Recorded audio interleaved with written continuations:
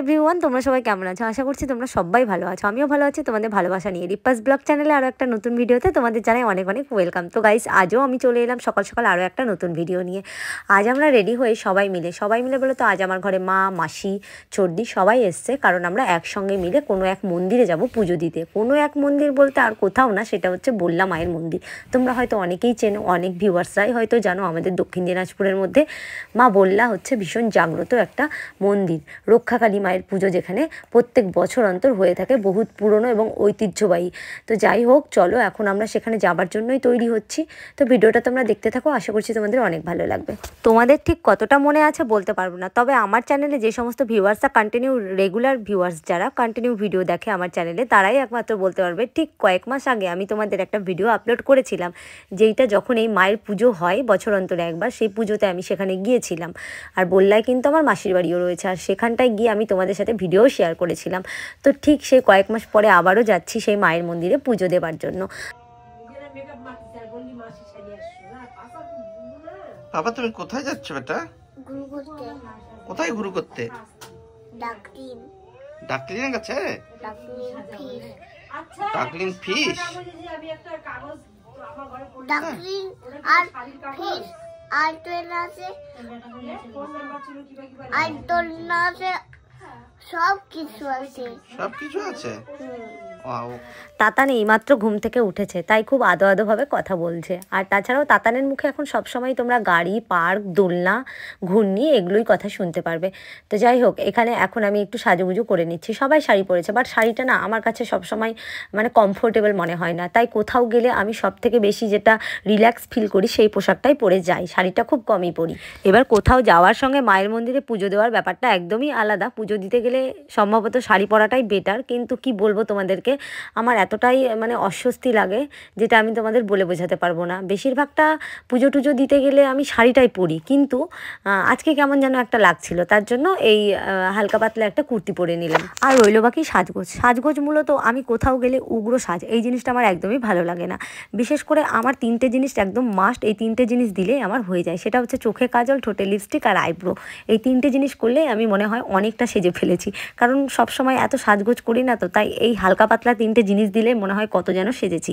আর তার মধ্যে আরেকটা কথা কি বলতো? এখন যে আমরা পুজো দিতে যাচ্ছি, এটা হচ্ছে দুপুর টাইম আর এই দুপুর টাইমটা আমার মনে হয় না এতটা উগ্র সাজা ঠিক হবে। যদি কোনো বিয়ে বাড়ি বা কোনো অকেশন বাড়ি হতো, তবে হয়তো ব্যাপারটা ঠিক ছিল। কিন্তু আমরা তো পুজো দিতে যাচ্ছি, তাই হালকা পাতলা হলেই চলে যাবে। মোটামুটি ঘন্টাখানেক হয়ে গেল, মা আর মাসি রেডি হয়ে আমার বাড়ি এসে দাঁড়িয়ে আছে। কিন্তু আমার আর সর্দির এখনও সাজগুজি হয়নি, আর সর্দি মোটামুটি কয়েকটা দিন হলো আমার বাড়িতে এসে আছে। তো সেজন্য আমরা একটু ঢিলমিল ঢিলমিল ঢিলমিল করছিলাম যে ওরা এলে রেডি হব, ওরা এলে রেডি হব, এরকম একটা ব্যাপার। তো মাসিরা এসে দাঁড়িয়ে আছে, মা এসে দাঁড়িয়ে আছে, আমরা এখন রেডি হচ্ছি রেডি হলে আমরা বেরিয়ে পড়ব। কোথাও যাওয়ার আগে সাজগোজ করতে আমার অনেক দেরি হয়, অনেক লেট হয়। মানুষ মনে করে আমি বুঝি কতই যেন সাজগোজ করছি, কিন্তু সেরকম কিছুই না। ভারী মাত্র তিনটে জিনিস মুখে অ্যাপ্লাই করতেই আমার যেন সন্ধে গড়ে যায়, এরকম একটা ব্যাপার। তো যাই হোক বন্ধুরা, চলো বেরিয়ে যাই, বেরিয়ে গিয়ে তোমাদের সঙ্গে দেখা হচ্ছে তো গাইস আমরা কোথায় যাচ্ছি না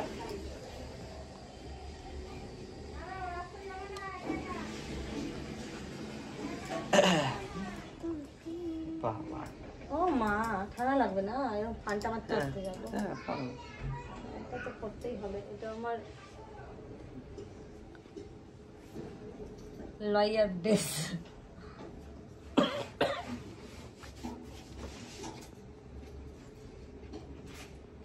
চাদর একটা নেও নেও।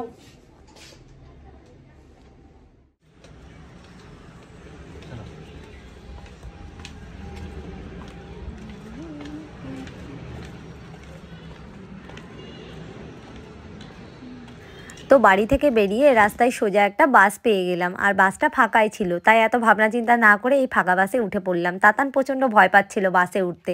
তো সেজন্য ও সিটে একদমই বসতে চাইছিল না। ওর পাপার কোলেই ছিল, কোল থেকে একদম নামতেই চাইছিল না। অ্যাকচুয়ালি তাতান সেরকমভাবে বাস, গাড়ি এগুলোতে সচরাচর ওঠে না তো, তাই প্রচণ্ড ভয় পাচ্ছিল।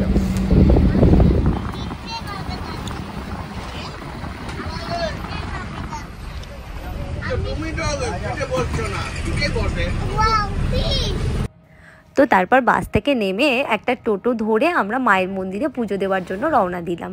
তাতানের যে আজ কি হয়েছে তাতান একদম টোটোতেও বসতে চাইছে না। তখন আসবার পথে বাসেও বসতে চাইছিল না, এখন টোটোতেও বসতে চাইছে না, প্রচণ্ড ভয় পাচ্ছে। তো কি আর করা যাবে? আমার কোলে বসিয়ে নিলাম। তখন আসবার পথে ওর পাপার কোলে বসে বসে গোটা বাসটাতে এলো আর এখন টোটোই করে আমার কোলে বসে বসে যাচ্ছে। তো এই তো হচ্ছে অবস্থা।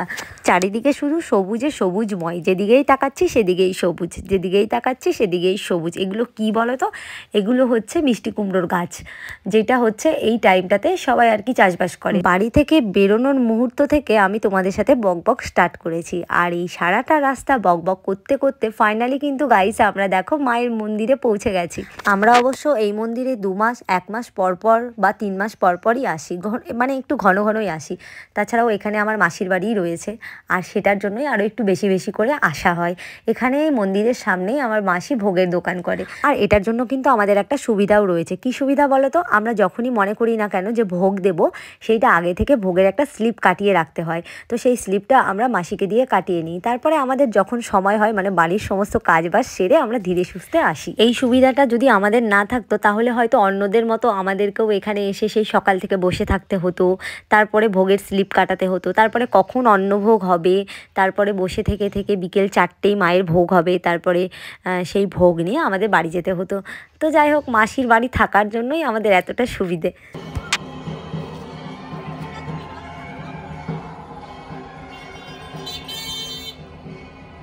দাও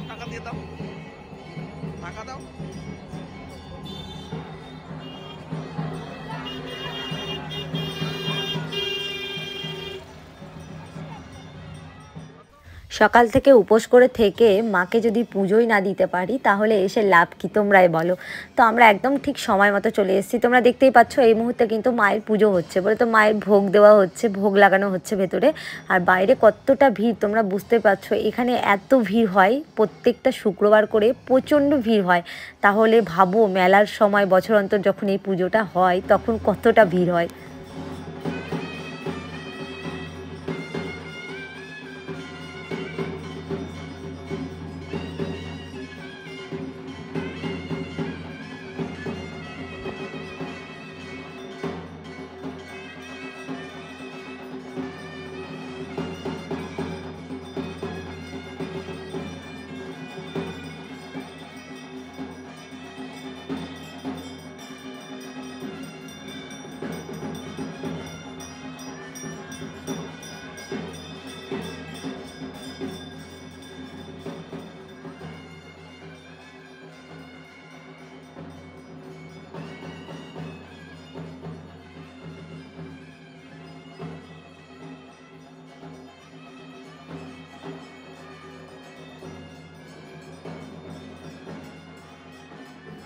তো আগে থেকে আমরা অন্নভোগের স্লিপটা কেটে রেখেছিলাম মাসিকে দিয়ে। তো অন্নভোগ এই মুহূর্তে হয়ে গেল। আর এখন আমি আর সর্দি মিলে দুজনে একটু মায়ের মন্দিরের ভেতরে যাচ্ছি। তাতানের নামে আমি একটু পুজো দেবো বলে। আর গাইস তোমরা দেখতে পাচ্ছ, একটু আগে যে মায়ের অন্নভোগ হয়ে গেল, সেইটা নেবার জন্য কতটা ভিড় এখানে জমে গেছে। প্রত্যেকটা শুক্রবারে ঠিক এরকমটাই ভিড় হয়। আমরাও বাড়িতে থাকতে হ্যাঁ এরকমটা ভাবি, প্রত্যেক শুক্রবার করে। যদি একটু মানে মন্দিরের খিচুড়ি প্রসাদ পেতাম বাট সেটা যতক্ষণ না এই মন্দিরে আসা হয়, ততক্ষণ তো আর সম্ভব হয় না। তো এই ভোগটা দেবার জন্য আর এই ভোগটা খাওয়ার জন্যই কিন্তু আমাদের এখানটায় আসা। তো চলো অনেকটা কথা বলে ফেললাম, অনেক গল্প করে ফেললাম। এখন আমি যেটা করতে এখানে এসেছি বলে তো তাতানের নামে একটু পুজো দেবো। তো চলো ভেতরে যাওয়া যাক। তো ভোগের ভিড় কিন্তু এখনও অবধি কমেনি। তোমরা দেখতেই পাচ্ছ মন্দিরের ভেতরেও কিন্তু প্রায় অনেকটাই ভিড় রয়েছে, শুধু মায়ের একটু ভোগ নেবার জন্য। অনেকে আবার পুজো দিতেও ঢুকেছে, তার কারণ অন্নভোগ হয়ে যাওয়ার পরে কিন্তু মায়ের আবার পুজো এখানে করা হয় বলে তো ভোগ নেওয়া হয়। তো সেই ভোগটা দেবার জন্য অনেকে এখানে ঢুকেছে। যেমন আমিই ঢুকেছি তাতানের নামে পুজো দেবো বলে। অন্নভোগ হয়ে যাওয়ার পরেও কিন্তু এখানে ভোগ নাই। আর তাছাড়াও আজ মন্দিরে এসে দেখছি একটা ছোট্ট বাচ্চার মুখে প্রসাদ দেওয়া হচ্ছে। বেশ দেখে ভালো লাগছিল। আর তার সঙ্গে গাইস এখানে এত জোরে গান বাজছে, এত জোরে গান বাজছে। আর তার মধ্যে ফাঁকা যে কোনো হল ঘর মন্দির এগুলোতে দেখবে আমরা আস্তে কথা বললে সেটা কিন্তু অনেকটা জোরে শোনা যায়। তো ঠিক সেই আওয়াজটাই হচ্ছিল, প্রচণ্ড জোরে আওয়াজ হচ্ছিল। তো আমার কিন্তু তাতানের নামে এখানে পুজো দেওয়া হয়ে গেল। পুজো শেষ হয়ে যাওয়ার পরে আমি দেখছি এখানে সবাই মায়ের থাল থেকে ভোগ নিচ্ছে বলে তো এখানে ভোগ বিতরণ করা হচ্ছে। আর সেটা দেখে আমিও সামলাতে পারলাম না, কি করব? আমি তো কোনো পাতা বলো, কোনো কিছুই হাতে করে নিয়ে ভেতরে ঢুকিনি, কারণ আমি পুজো দিতে ঢুকেছি।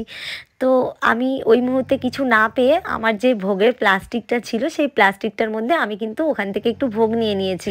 এমন বুদ্ধি আছে কার? তোমরাই বলো। আর আমার আশপাশে যারা ছিল, তারাও যখন পুজো দিতে ঢুকেছে তো তারাও তো হাতে করে কিছু নেয়নি। তো আমার প্লাস্টিকে ভোগ নেওয়া দেখে তারাও ওই প্লাস্টিকে করে ভোগ নিয়ে নিল।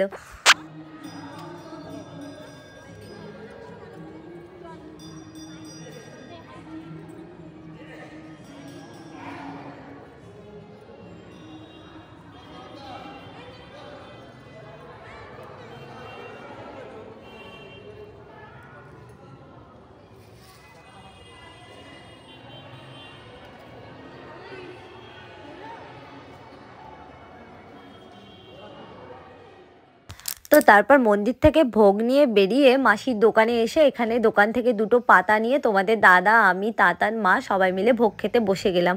সকাল থেকে না খাওয়া ছিলাম আর এই ভোগ মুখে দিয়ে যেন মনে হচ্ছে কি যে শান্তি পেটে, কি যে শান্তি, কি আর বলব তোমাদেরকে। আর তাছাড়াও এই মায়ের খিচুড়ি ভোগে কিন্তু একটা আলাদাই স্বাদ রয়েছে, সেটা আমরা কিন্তু কখনোই বাড়িতে তৈরি করতে পারি না। যত যাই কিছু দেই না কেন, সেটা কিন্তু কখনোই বাড়িতে এই রকমটা হয় না। বাট এখানেই শুধুমাত্র এই খিচুড়ি প্রসাদের স্বাদ পাওয়া যায়। তো বন্ধুরা, তারপর আমরা প্রসাদ টোসাদ খেয়ে সন্ধে লেগে গেছিল। ওখান থেকে সন্ধে লাগাতেই আমরা তাড়াতাড়ি করে বেরিয়ে গেলাম। তার কারণ তাতানকে নিয়ে গেছিলাম, তো আবার ঠান্ডা ঠান্ডা লাগার ব্যাপার রয়েছে। টোটো করে গেলে তাতানের হাওয়া ঠাওয়া লাগবে। সেজন্য আমরা ওখান থেকে তাড়াতাড়ি করে বেরিয়ে গেলাম। এই যে আমরা টোটোয় উঠে গেছি আর এখন কিন্তু আমরা বাড়িতে যাচ্ছি। তো চলো বন্ধুরা, বাড়িতে যাই, বাড়ি গিয়ে আবার তোমাদের সঙ্গে দেখা হচ্ছে। লাউ ডোকা চুরি করে এনে এগুলার কি অবস্থা দেখো। এই যে একটাই আগা নিছি কিন্তু আমি দেখে নিই নিয়ে রে বাবা নিয়ে রে কে একটা হবে না তোমরা দেখ। এই তিনটাই আমি মাসি দিদা মাসি তিনটে। হ্যাঁ, তো গাইস পুজো দিয়ে বাড়ি চলে এসেছি আর এখন এই যে লাউ ডোকা চুরি করে এনে লাউ ডোকা ভাগাচ্ছে চিলি কফি জিনিসের স্বাদই আলাদা গাইস